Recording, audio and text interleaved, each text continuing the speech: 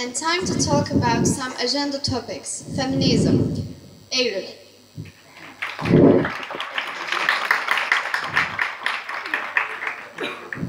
Welcome everyone. I'm going to talk about the heart is most more important than gender. So I want you to imagine a child. The child is so dirty, so excited, so free, and this child is wearing a car patterned blue t-shirt and pants. Child is boy, right? Why didn't we imagine a girl? Patriarchy is social system which means hold power and domination. It wasn't forced, but women wanted to change it, and feminism raised up. Feminism is meaning same rights, same station in life for women and men. But actually, it's not easy. Turkey needs 117 years for ensure equality in business life. And it looks like we are ensuring so equality in social life.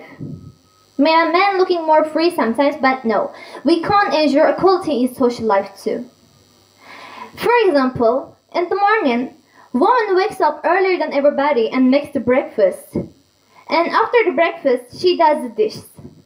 She goes work and comes home back. She's so tired, but she has to do housework. But man comes home, sits the couch in front of TV, and waits for his moms or his wives come and give him food. Until the night, he's watching football match or uh, playing PlayStation because the work made him tired.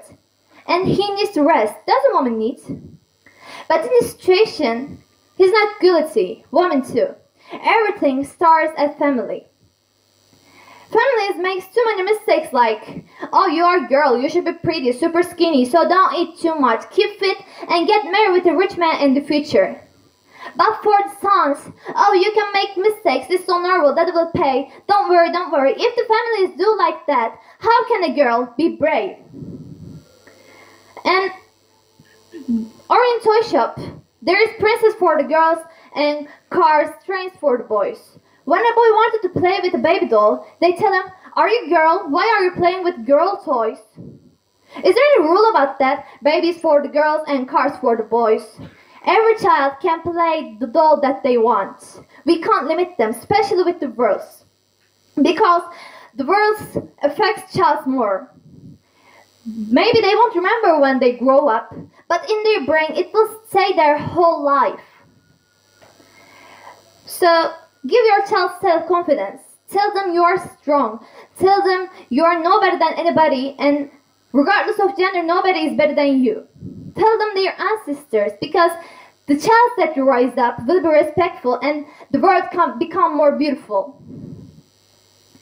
So, and they will learn gender is nothing. The heart is most important thing. Thank you for listening to me.